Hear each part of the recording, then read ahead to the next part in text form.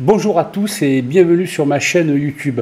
Je vous avais parlé d'élaborer euh, une vidéo sur deux fonctions groupées par et euh, croisées avec.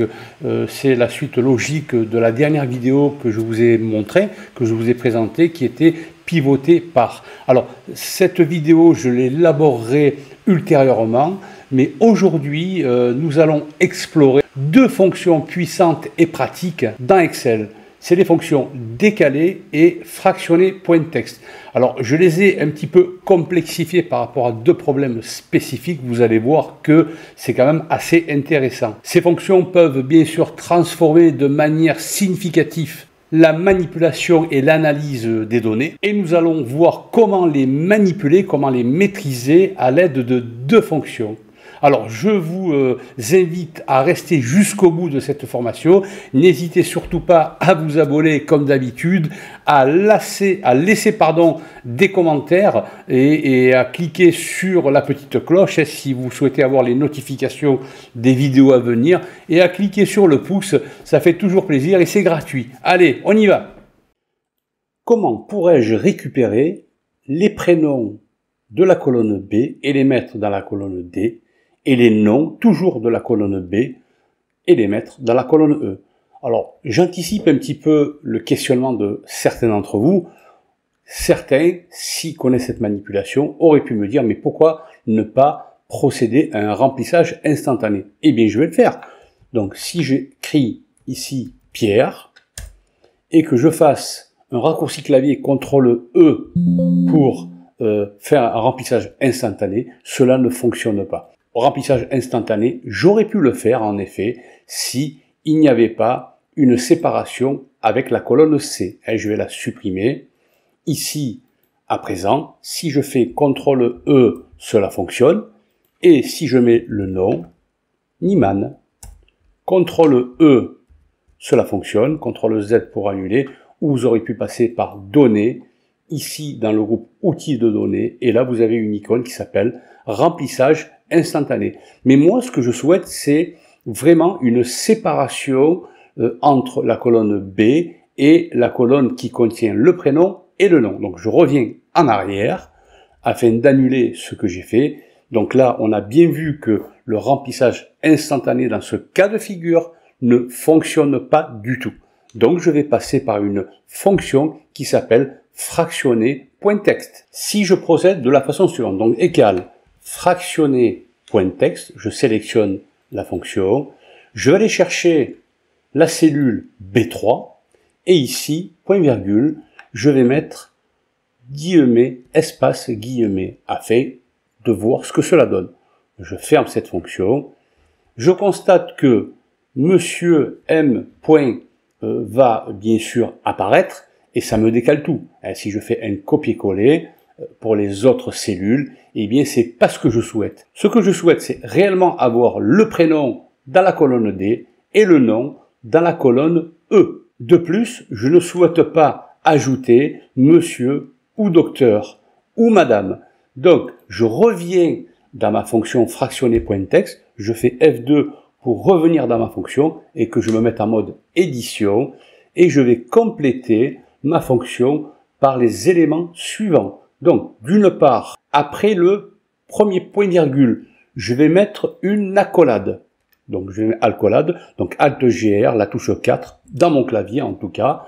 Donc, je laisse l'espace, euh, guillemets, espace, guillemets. J'ajoute aussi M, entre guillemets, pardon, M, point, hein, espace. Je ferme les guillemets, donc cela va m'enlever cette possibilité. Euh, d'être intégré dans la colonne D. Je souhaite aussi enlever docteur. Donc je vais mettre point virgule, guillemet, dr, petit r, point, espace, guillemet. Et je souhaite aussi retirer madame. Donc point virgule, entre guillemets, madame, espace, guillemet, et je ferme euh, l'accolade. Donc Alt GR sur mon clavier, c'est touche euh, plus égale.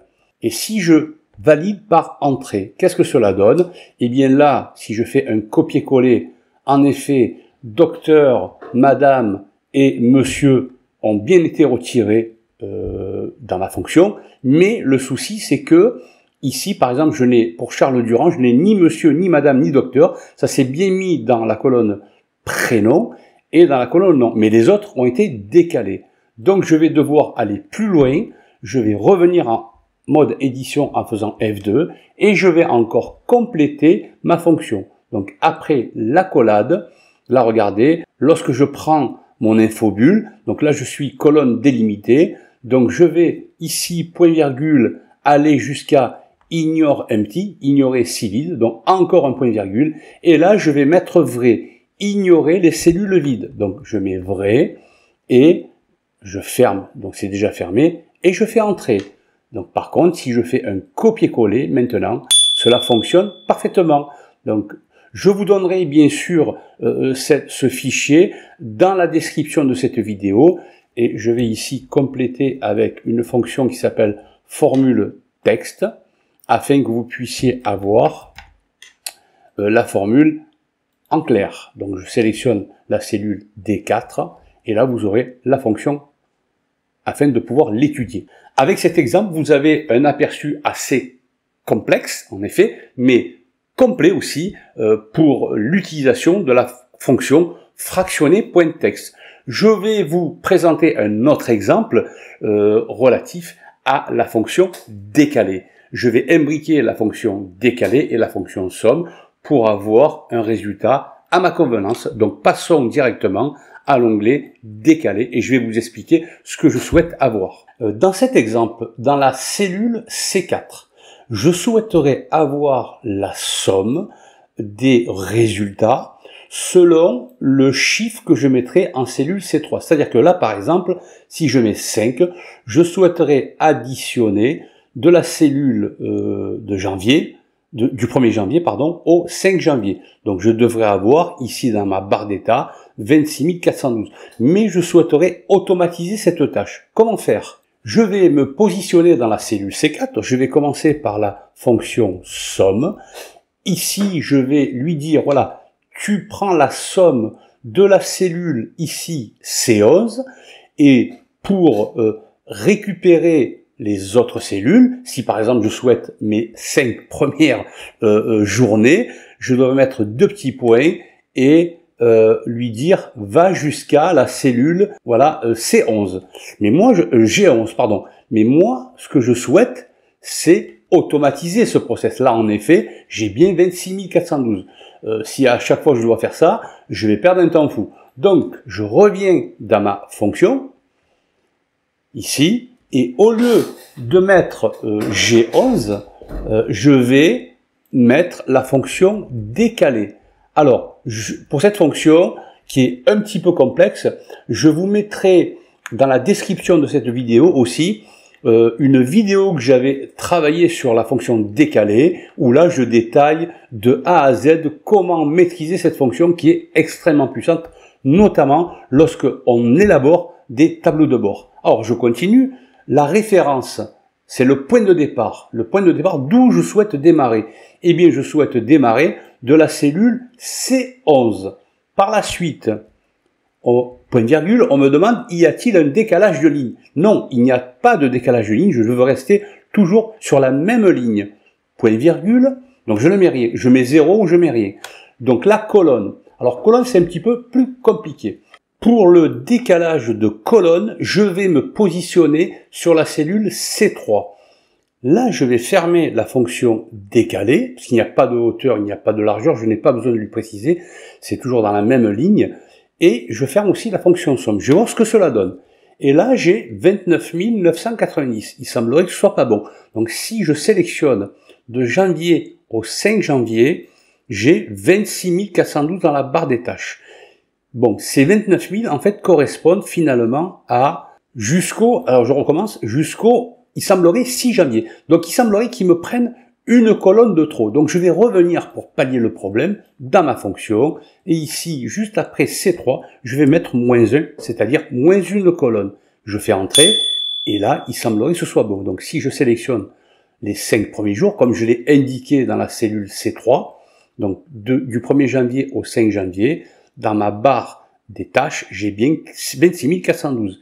Si par exemple je mets 4, c'est-à-dire jusqu'au 4 janvier, il me dit 22 249. Donc je vais vérifier jusqu'au 4 janvier et j'ai bien 22 249. Pareil que tout à l'heure, je vais vous mettre ici avec la fonction formule texte la fonction que je viens d'élaborer. Alors je vous rappelle hein, que je vous laisserai dans la description aussi euh, une vidéo, un, lien vous permettant de voir comment fonctionne euh, de A à Z la fonction décalée. Cela vous aidera amplement si bien sûr vous voulez créer des tables de bord. C'est une fonction qu'il faut absolument maîtriser. Alors j'espère que ces deux exemples vous auront plu. Euh, donc moi je vous donne rendez-vous dans une prochaine vidéo. N'hésitez surtout pas à vous abonner, à cliquer sur la cloche pour les notifications à venir et pour euh, euh, le référencement, cliquez sur le pouce et laissez surtout un commentaire. Moi je vous dis à bientôt. Au revoir.